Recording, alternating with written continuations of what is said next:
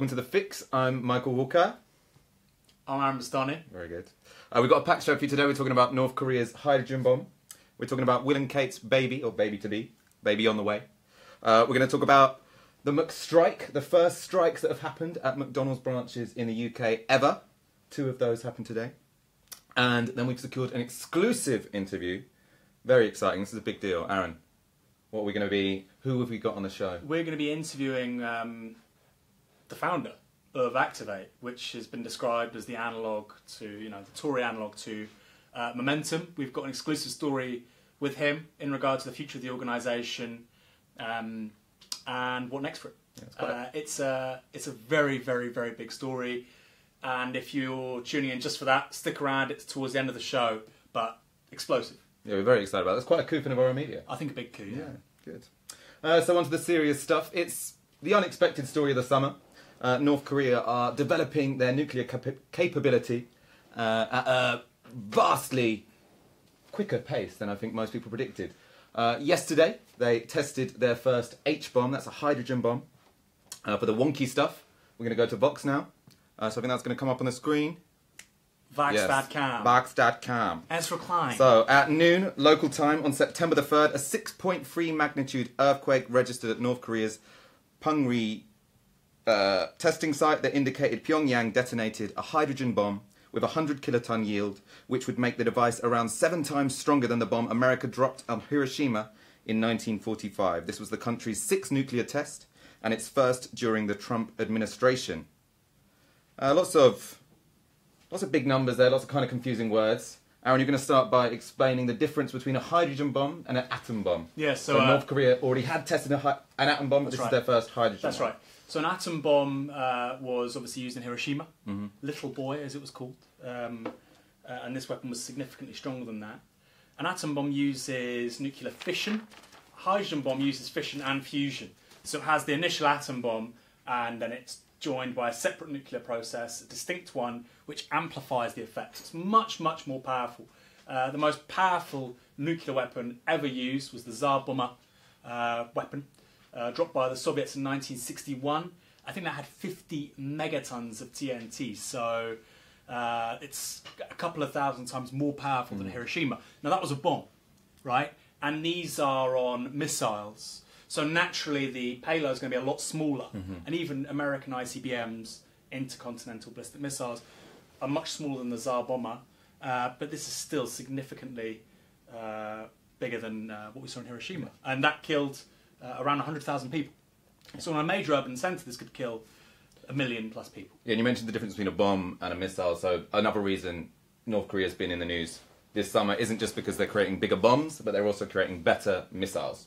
So it looks like they're at the verge of creating an intercontinental ballistic missile which would get these nuclear bombs to, well, which could get these nuclear bombs Yeah. to American cities, Yeah. which is a much more surefire way of landing a bomb than dropping it from a plane in the sky. Well, yeah, like a strategic bomber is a very limited delivery system, um, which is why we had the Cuban Missile Crisis, right? Uh, you know, you had America putting its nuclear weapons in Turkey, bordering Russia, Soviet Union rather, and the Soviet Union wanted to fight fire with fire, putting uh, similar weapons on Cuba.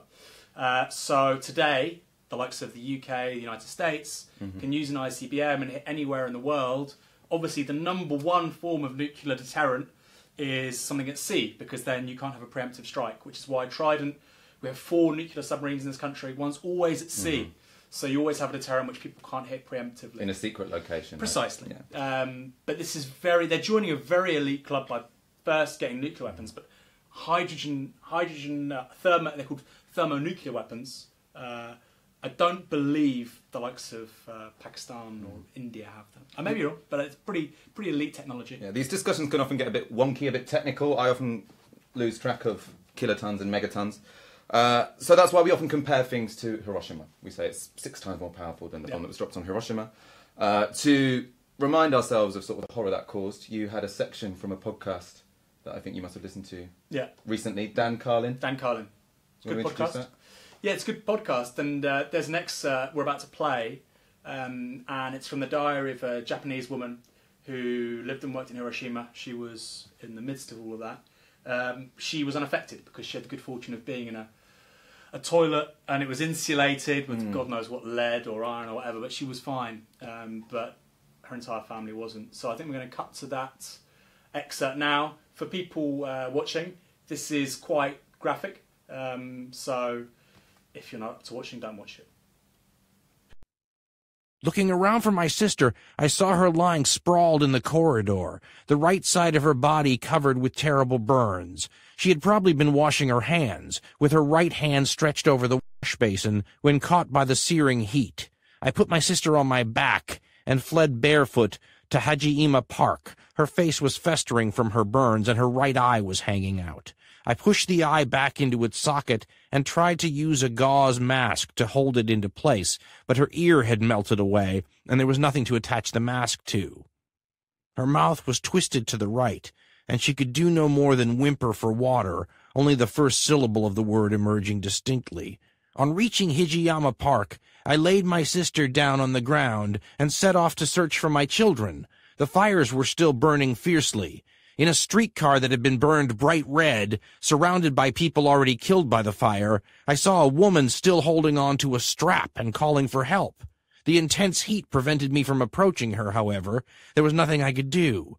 To a man sitting on some stone steps, I said, Come on, let's get away from here, and pulled him up by the hand. But as I did so, the skin came away from his hand, and he fell slowly to the Yeah, so uh, obviously pretty pretty tough to listen to, um, and I would recommend for people who are ambivalent about nuclear weapons, research what happened in Hiroshima and Nagasaki. It's just terrifying. It's worse than any dystopia we could probably imagine, and yet, as we said, the weapons of today are far far more powerful. I think the uh, ICBM warheads that the US has is about 300 kilotons, um, which is about three times more powerful than what nuc- um, North Korea's just tried to use, more than 10 times more powerful than Hiroshima. Uh, just devastating weapons. Uh, and, you know, 70 years after after discovering this technology, I still find it the most just supremely modern thing. The idea that you could just kill millions of people in, a, in the, the blink of an eye. So I mean, obviously today we're talking about this because North Korea's developed increased nuclear capacity. Increased nuclear capacity doesn't always well. It it has only once in human history translated into the actual use of a nuclear weapon in war, which was in Hiroshima and Nagasaki. By liberal democracy, right? um, by liberal democracy. Yep, and crucially, when only one country had the nuclear Yeah. bomb. Uh, so we're going to look at the reactions to this development, uh, to nu- to North Korea's test, uh, and think about what might happen. Does this spell nuclear war, or is this uh, for show, or not Right. quite for show, but is it something that we can? a deterrent, right? A deterrent, That's yeah. the rational argument. They don't want the United We States have one. Why shouldn't North Korea have one? Anyway, we're going to start with international reactions, and we're going to start where any conversation about international relations should start these days, which is Donald Trump's tweets. Uh, he didn't waste much time in getting them out. These should be coming up now. Let's see those tweets. So he hits out first of all, not at North Korea but at South Korea. Interestingly, accuses them of appeasement, uh, and that's because they've got a. This should be coming up. That's because they've got a more liberal government that's taken a less hawkish line than him. Uh, obviously, at the moment, America are getting. Uh, it's it's in the news because people in America and American cities are worried that they might be able to get hit by a North Korean bomb. Yeah. Uh, South Koreans and Japan have had to uh, live under that fear for a much longer period of time. They tend to be less inclined to saber rattle. Yeah. Uh, if if there is if military action does start, it will be them that are hit first. Um, I'm not sure if they are going to come up anyway. He says it's an embarrassment to China, and then he says, "Hey, there we go," and then he says the final one, which is so. Yeah, South Korea. Then we got our final one, which is he says that America, as a next strategy, might cut off trade with any country that does trade with North Korea. Most significantly, that would be with China. Uh, what would happen if the US cut off trade with China, Aaron? Well, first I just want to say, um, in regard to the South Korea point, Yeah. he, this is really consistent because people like to say, "Oh, Donald Trump's erratic. He's a madman. He makes no sense. He's irrational." Those tweets are a very, very, very clear continuation of what he's always said. He's always been very angry at the US's. He's always been more angry at the US's allies than its enemies because he says, "We're paying for your defense. Europe, Germany, Japan, Yeah. South Korea, Kuwait. We're paying for your defense. Pay for your own defense."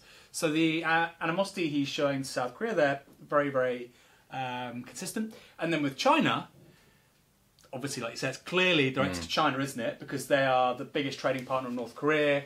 Chinese exports to the United States are huge, but they also buy huge amounts of US sovereign debt. So I don't, it would collapse the world I economy. mean, it would be 2008 on steroids if if It's not gonna America. Yeah. cut off trade with China. But again, he's you know for decades now he's talked about the US running a trade deficit with powers in East Asia. It used to be Japan. More recently, it's been China, and that's because they have an undervalued currency. So I think these overtures he's making, yes, it's trying to send the signal to Pyongyang and to North Korea, but it's also saying to the South Koreans, we pay for your defence, we don't get much in return, mm. which is kind of true. I mean, they're the global hegemon, that's what they get in return. Uh, and then to the Chinese, it's saying we're in the middle of a trade war. Um, and even though, you know, you screw us in regards to devalued currency, you're not even keeping this, you know, this potentially nuclear state on a tight leash. So, I mean, it's what he's saying is rational when you look at it like that in regards to not just North Korea, but also China and South Korea. Yeah. So I mean, so what we have in terms of Not necessarily the way he's doing it on Twitter, Yeah. but in terms of criticising South Korea, in terms of asking the Chinese to keep North Korea on a leash, because they're the ones that matter in this. well, I don't. I'm not sure if it is rational actually. I mean, let, There, let's. there is a rational. Well, look at- there's a I'm rationale, but there's a it is Trump rational. rationale. Yeah. Uh, I think what Kim Jong Un is doing seems more rational. Uh, but in terms of outcomes, you've got a first outcome, which is what the USA wants, uh, which is that more pressure is put on North Korea. Uh, sanctions are tightened and extended to China, so China stops trading with North Korea. That would be them stopping importing textiles. But the nuclear option, to use a word out of context, would be for them to cut off oil to North Korea. If they do that, most analysts agree the Kim regime will fall quite quickly. Uh, and that's what the Americans are really going to be pressuring them to do. Uh, the danger here is that when is Kim most likely to use a nuclear weapon if he thinks that his regime's going to fall anyway? He doesn't want to end up like Gaddafi, killed live on TV, go down in flames. I mean, it's a completely. It would be completely different. I mean, it, the what, US. be- what would be The US different? has been effectively defeated in Iraq because of a guerrilla war, right? Mm. A 10 year protracted, low intensity guerrilla war. Mm. Uh, in North Korea, it would be a, a very. You've got a very disciplined, um, ideologically loyal nation. It's very, very different. I mean, it, it would be it would be hell on earth. The United States. They wouldn't. They wouldn't be able to have an you know a, a land based intervention into North Korea. It's just not going to happen. So regime change through maybe starving it of energy supplies. Mm-hmm. Yes. No, but the danger is that if But uh, Kim feels like the regime's about to fall, then even if it's just because of economic reasons, they say they've made the economy scream Yeah. by cutting off oil, Yeah. that's when you'd be most likely to use some sort of nuclear capability. I don't. I mean, I, I, turn it back on. I don't think they would because then obviously they, they would be licensed to the US Mm. to completely destroy the country. I think even just using conventional war, I think they'd be okay. Mm. so you're not that worried about what's called a, a strategic miscalculation where, well, you've always got to be worried, right? yeah, you think it could happen? I mean, it's a miracle it didn't happen in the course of the Yeah. 20th century. It could always happen, but I don't think this. If you look at the variables here and say oh, this means it's very likely that there'll be a nuclear war, the North Koreans could fight a conventional war and be very good at it. You know, they still have these missiles. They don't need to put nuclear warheads on them. They can still send them to Tokyo. They can still send them to Seoul. They can still send them to Guam uh, or Hawaii. Well, except no, because the, reason you wouldn't use conventional weapons is because North Korea, in, in any other weapons other than nuclear bombs, Mm. they they'd get destroyed. It's only a nuclear bomb that gives them some sort of strategic. No, but in terms of defen defen- Wait. in terms of defensively, not really. And also, I mean, I, look, what was the first ICBM? It was these are all derivatives of the German V Mm. two rocket, right? Which wasn't a nuclear weapon, so you could use these. Uh, or there even there's a there's a weapon called a thermobaric weapon, which is a very very powerful weapon Mm-hmm. which uses similar technologies. So you could use you know you could use these. This still shows a very sophisticated levels of level of weapons technology without using Mm-hmm. nuclear stuff, and I think. I just think the idea of an American military intervention in North Korea is batshit. Yeah. Not going to happen. probably the most the most positive analysis actually I read of this situation, and why I think that Donald Trump's tweets probably aren't that rational in terms of what's going to be the best outcome here, uh, is that this in fact normalizes relations. So this is a quote from Bong Young Shik, who's an, an authority on North Korea at Seoul's Yonsei University. This is quoted from the FT. Uh, so he says, actually I don't know if it's a he or a she. They say. Kim Jong un now understands that Washington does not have the ability to crank up its maximum pressure strategy any further. He understands Washington does not realistically have a military option. The only option for Washington to recognize North is for Washington to recognize North Korea as a nuclear state and hope to contain it, like with the Soviet Union. So basically, what's that saying is give up on stopping proliferation in North Korea, accept that they are now a nuclear power, and try and bring them to the table, and make sure that no strategic miscalculation does happen. Yeah, I'd agree with that. so that's one of the reasons why America and the Soviet Union ended up getting coming to the table and saying like, let's stop doing things by mean, if you- surprise because True. we don't want to accidentally blow up the world. But a few funny. I mean, first of all, the, the United States and the US are relatively well balanced, right? So America gets nuclear weapons first, but the Red Army had half of Europe, mm. and there was a genuine belief in 1945 that they would go all the way to the Atlantic. So, what if you're the US? What cars do you have? Well, you have the Manhattan Project. You know, the Soviets have half of Berlin. Uh, they're in Poland. They're in Hungary. What's the Manhattan Project? The bomb. Yeah, the, the A bomb, the atomic weapons, right?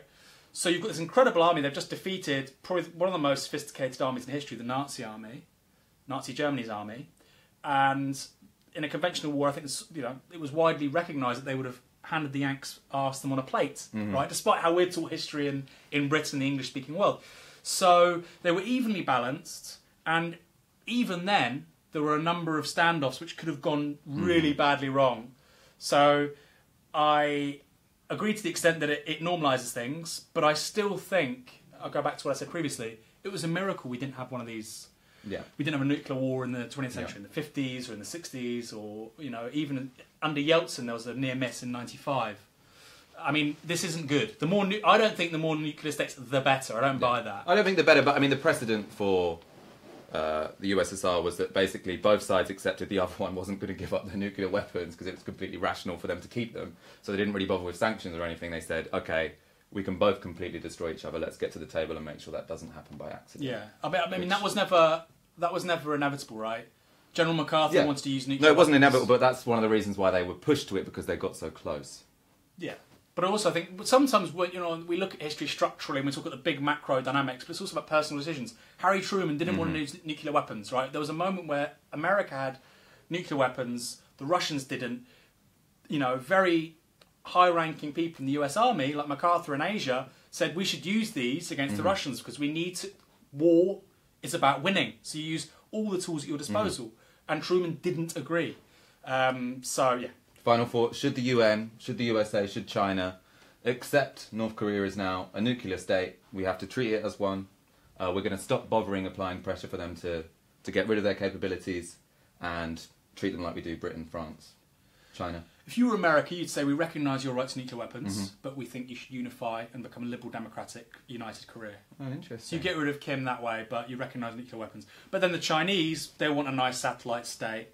Um, so yes, I mean, if I was if I was at the the, the uh, you know uh, something in the Pentagon, Yeah. you'd want a sort of a shill liberal democratic government with nukes in South Korea. We're going to move on in a second, but at, Novara Media, we're, a bit like Corbyn. We like political, peaceful solutions. We think conversation is what can solve the world's problems. Uh, and we've thought of a way that we can solve this problem, make sure a strategic miscalculation doesn't happen, and at the same time make quite good TV. Mm. Uh, it's going to be called Kim Dine With Me. Kim Diamond, okay. Yeah. Uh, Trump, Kim, Yeah. he, he's obviously a guy that likes food. They chat, you know, we've both got nuclear bombs. Let's just chill. Make sure it doesn't escalate. As, couple of uh, beers. yeah, as, Stop, stop communicating by Twitter and, you know. as everybody seems to say these days, we've got so much more in common than what separates us. And you know, I've heard that Donald Trump likes kimchi. Mm-hmm. Is that true? So, uh, you know, All right, we have gonna, so much more in common. we're going to go from one unelected dynasty to another. Uh, Will and Kate should be coming on the screen. Kate is pregnant. Yeah, Proud moment for Britain. very proud. you proud, Britain? It's not normally something we'd cover on Novara, but it is a particularly opportune moment to point out the predictable hypocrisy of the British establishment. Uh, this comes, so the announcement of this pregnancy, which is obviously being celebrated by all of our brave, compliant press, uh, comes five months after reforms are introduced which punishes ordinary families for having more than two children. So if you have children beyond your first two, uh, you can't claim child benefit for them. And the argument, this was a George Osborne policy, so the argument was that if you can't afford to maintain free kids, you shouldn't have free kids. Um, who do you think pays for Will and Kate's kids? What's Kate's job? What's Will's job? I don't know. Yeah. Well, it's the fucking taxpayer. There you go. Yeah, so uh, Buckingham Palace, uh, the Queen's taxpayer fund, uh, was doubled from 42 million to 82 million. That's partly to maintain the royal palace, which uh, whatever little lizard comes out here will be able That's to live in baby. in That's a lot of baby in its clothes. old age. That's a lot of baby clothes. Huh? There's a lot of baby clothes, big rooms. Big rooms. Uh, yeah, biggest scroungers on the planet. Free kids is okay for them, but if you've got a real job, if you work minimum wage at McDonald's, Yeah. uh, stick to two, all right? How dare you have free children? It's it's completely batshit. Yeah, it's completely batshit. But like you said, I mean, what else do they do? Uh, William, I used to think used to fly helicopters. Harry was a liability fundamentally in the British Army. He was so brave in Afghanistan. Not Mm. really, because if anybody has any idea who the, the you know who the guy is, Yeah, he, was- probably needs about like an operation of twenty people just to protect his him. Mm. entire regiment at risk. What? So that, so that he can feel good about himself? I mean, how much more fucking selfish Mm. do you get? No, you're not a normal guy. Okay, sorry. I mean, you can give up. You know, you can fuck off the royal family and like go work for a living. Oh, you're not going to do that, are you? So We'll put him on Branson Island like we just heard about last time. HMP Necker Island. HMP Necker. I know at the Royals. I just think we do what the Italians did after 1945. You What did they do? You're going to have to give me a history Well, lesson the again. country became a republic by referendum, which is what I would prefer in this country. I think we should have Hmm. a referendum, which we would lose, by the way, right now. But I would want, I would want to change It's that. worth a go. I'd want to change that, Yeah, right? yeah, yeah, yeah. I accept that most Brits want to keep the royal family. I think that'll change after Elizabeth passed away, and after the Republican case was won, it's now illegal for the Italian royal family to re-enter the country.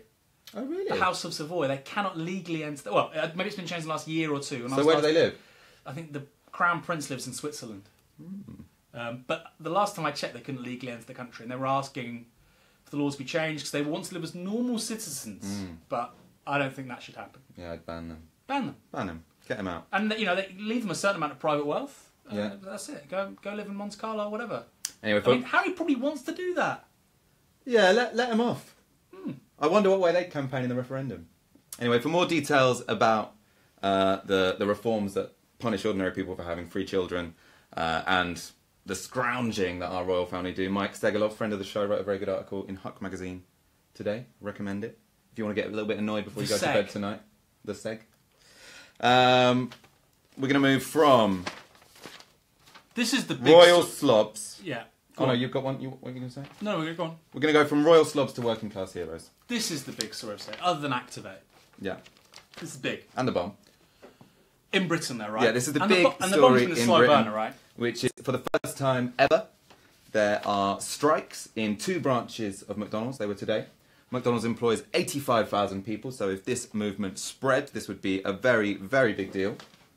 Uh, it's still very small at the moment, so I think it was 40 people that voted to go on strike in two branches.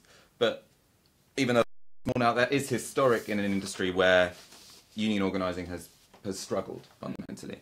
Uh, so this is partly inspired by the struggle for $15 in the USA Fight for fifteen. fight for 15 and it looks like yeah union organising is is back on the agenda in the service industry uh, they're fighting for an end to zero hours contract 10 pound minimum wage basic demands things that you can't really argue with Unless you're a twat. you'd have to be a right twat to argue with them wouldn't you We're gonna we're gonna cut some people on Twitter doing yeah precisely that. we've got some twats Okay, some Twitter twats. So here's which one's this? Stephanie Lapham, £10 minimum wage. Why bother getting qualifications, degrees, professions when you can flip burgers in a piss easy job for the same wage? Hashtag McStrike. What do you think of that, Bastano? Um, it doesn't. Was that Stephanie Latham? Was it? Yeah. Uh, yeah. Oh, No, no, that's it. Yeah, yeah, yeah. Yep. Um, I mean, look, ten pounds an hour. If you think ten pounds an hour is the going, that's four hundred pound a week, twenty thousand pounds a year. You're saying I'm going to go to university, I'm getting forty grand debt, and then I'm going to earn twenty grand a year. Twenty grand a year doesn't pay for children. When you're, she's young, right? She doesn't mm-hmm. know anything about the fucking world. She could just tweet about people being poor and how they deserve it. You can't care for aging parents. You can't buy a home. You can't save. You can't have a pension. Basically, you can't live a mm-hmm. proper adult life on 20 grand a year if you want children. We have to care for somebody, right? So she's talking nonsense. And it it is not an argument to say, oh, we've had falling pay for people with degrees, therefore the people that should suffer are the very poorest and most vulnerable. Ridiculous. Next, Next tweet. I think we got Susie this time. Susie. Susie. McDonald's workers on strike because they want £10 an hour. Go and get an actual decent job and stop expecting handouts. And this is from Susie Lou GME on Twitter. And guess what Susie's job is? Tell me a job. Guess. I've got it. She's a she's a professional YouTuber. She's a professional YouTuber, and she's saying, "Go get a proper job." Hmm. Are you kidding me? It's hard work doing YouTube, isn't it? But I think feeding people is kind of more important, right? I mean, it's kind of more important. I don't know, Susie. What the fuck are you talking about? I mean, she's yeah. So look, she's saying, "Go and get a, decent job and stop expecting handouts." So two things here. Firstly, everybody should get a pay, you know, be paid enough to, to live. Mm-hmm. But then who's getting a handout, right? Because the taxpayer, including these people, pay for education, they pay for infrastructure, the roads, they pay for healthcare. It's not some miracle that you get literate, healthy workers turning up to work every day. It's not a miracle. We all pay for that collectively. Okay? So we're subsidising the labour force that McDonald's benefit from, right? This is Susie Lou's uh, fucking YouTube channel, her proper job.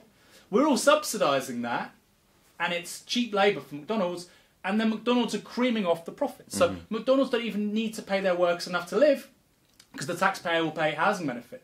Uh, the taxpayer will subsidise education in primary and secondary schools. So the handout here is going to big business. The handout here in this rigged system is not going to the workers on less than ten pounds an hour. It's going to the bosses. It's going to the millionaires, the people at the top. So, Susie, I'm sorry, but you couldn't be more wrong. That's as civilized as I get with people like the, this, you know. Who defines wages as handouts? it's ideology, isn't it? Right? It's bizarre. Completely bizarre. It's ideology. I mm. mean, you people, the, and the idea that wealth is not created by capital. Wealth is created by labour. Okay, when you buy, no, but this you don't just. That's the where does value come from? It doesn't just come. You know, this is not the magic money tree. They, mm. On the one hand, they say the magic money tree, and then when it comes to actually creating wealth, they think it's a magic money tree. No, it's workers work and they add value to things. Right? That's why you have to pay them. You, are you into the labour theory of value? No, I don't think you have to have a labour theory of value for this. I'm not saying prices reflect Yeah, labour. yeah, yeah. I'm saying that labour adds value. Price Anyway. and value are two separate things. Solidarity with the strikers at McDonald's today. Your heroes, and we hope that spreads throughout the country. Every McDonald's, all of these goddamn chains, every Burger King, I think I think every Wetherspoons. anybody working on full time in pay in this country should be on the medium wage, twenty Mm-hmm. grand. So actually, ten pound an hour is kind of like, you know, Yeah, what do you say? So ten pound an hour is twenty k a year. yeah, I- I'd have it 12, 13 pounds an hour, Yeah, I agree. ideally. We're agreeing on that. Uh, all we've got left is our exclusive interview, haven't we? We're going to go to a very quick break, and then we have an exclusive for you, the founder of Activate. This is not a wind up. Don't go away. Over the last 10 years, things have really changed. Victory, real people. us. It's about us. But for all the darkness, every cause has an effect. 40 students on the roof of Millbank. tienen mucha experiencia.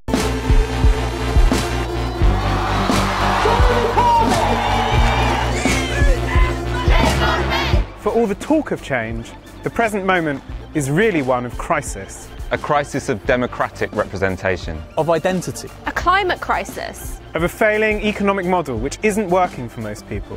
We can't have a media that's beholden to advertisers or the political ambitions of oligarchs. Which is why, in 2013, we founded Novara Media. Unlike corporate media, we are funded by our subscribers. There's no tax avoiders, there's no oil money, and there's no lords. What we're creating is media for you, which quite simply you make possible. We're looking to raise £40,000. That will allow us to not only keep on paying our contributors, but give them a little bit more, as well as keep our studio and take our fantastic Novara events nationwide. To help us get there, go to support.novaramedia.com and give a one off donation, or even better, sign up for a subscription. We've already achieved so much, but the truth is, we've barely started.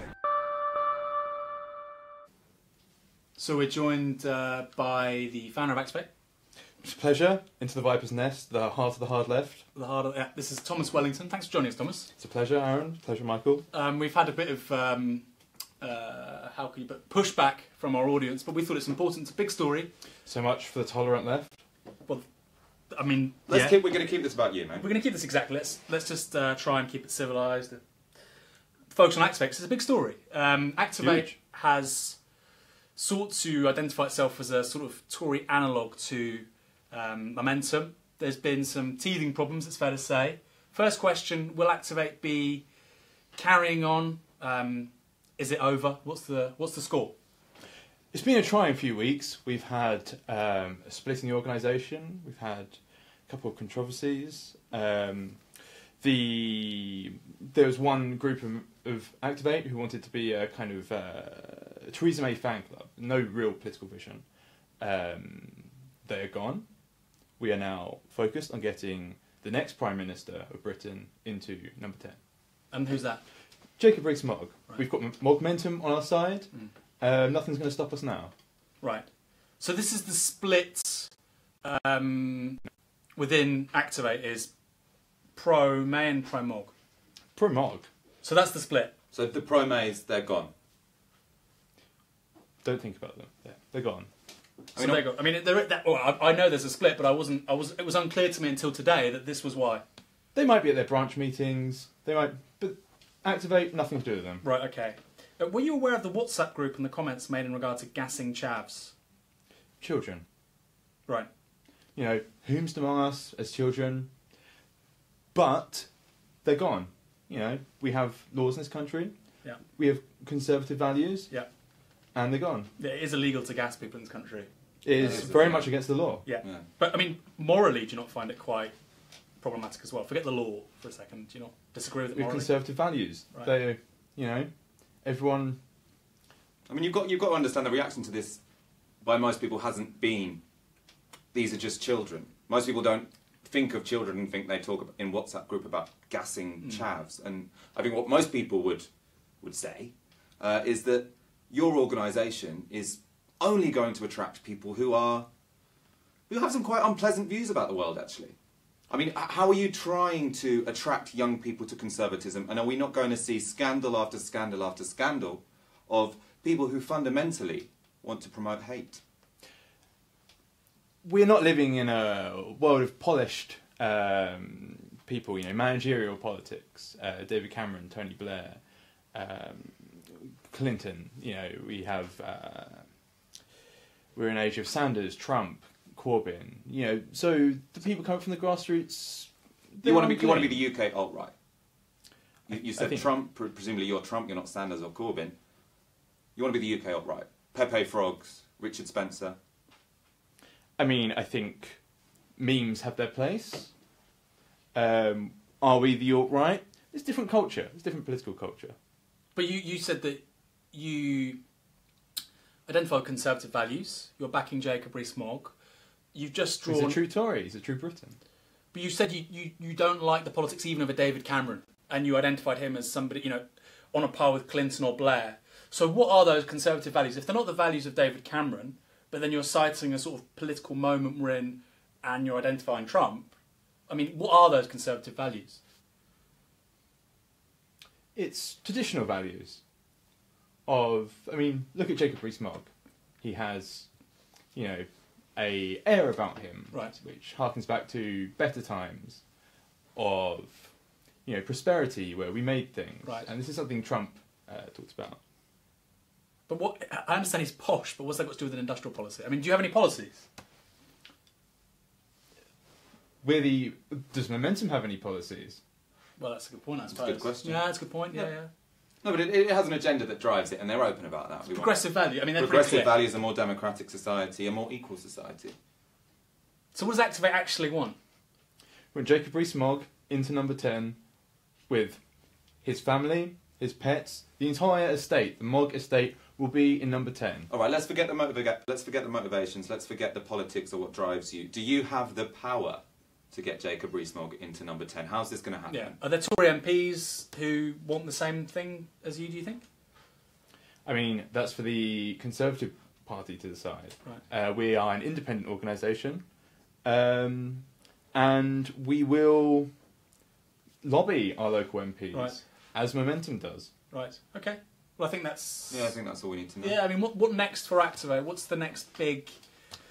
We thing? have a press release. Yeah. We are breaking with the leadership of the Conservative Party. Yeah. We are going hard for Jacob Rees-Mogg, and he. We, you can see on our Twitter page we have a press release, and it is online, the only Activate page on Twitter. Go on there. Our press release is there. Join the movement. Let's activate Britain. There's obviously a m- number of parodies, but that's the real one. And It's a grassroots movement. You're going to have parodies. well, as, as Momentum has a lot of parodies, to be yeah. fair. Okay, well, thanks for that, Thomas. Um, we are back next Monday. Mhm. Um, I think that's it. We're doing a Tiskey Sour this week. Yeah, we're going to do Tiskey Sour and, this I, week. and I think Novara FM is back on Friday. But we will see you on the Mm. fix next Monday. You've been wonderful. See you next week.